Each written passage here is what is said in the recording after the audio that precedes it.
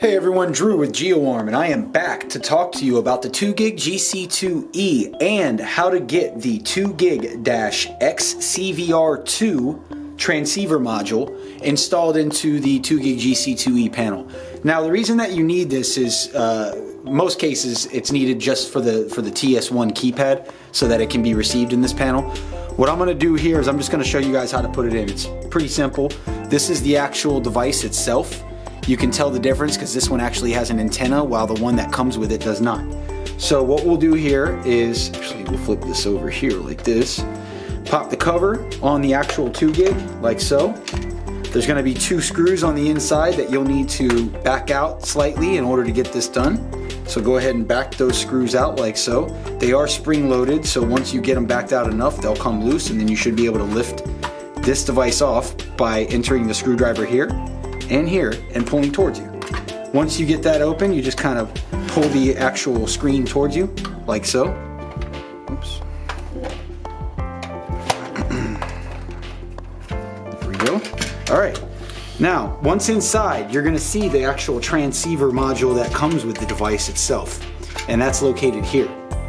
Now, in order for you to use this device, you need to make sure that your 2 gig GC2 panel firmware is at at least 1.08 or 1. Point, uh, yeah, 1.08 is what they're wanting.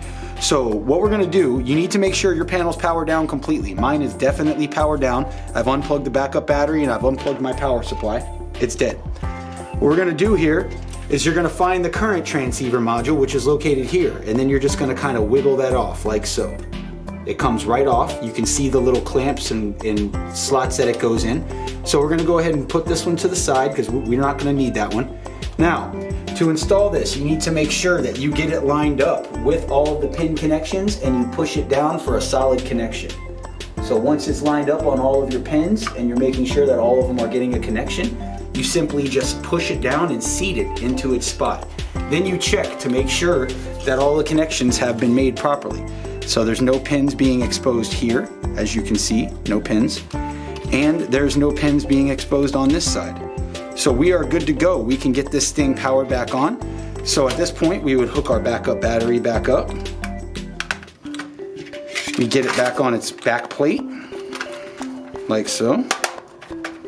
We put our screws back in place. Make sure you push down and get them locked back in. Okay.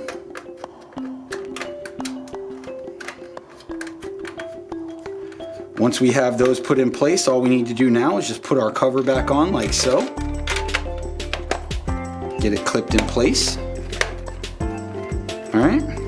And then at this point, it would be ready for power. So, ladies and gentlemen, this is how you install the 2 gig XCVR2 transceiver module into the 2 gig GC2E panel.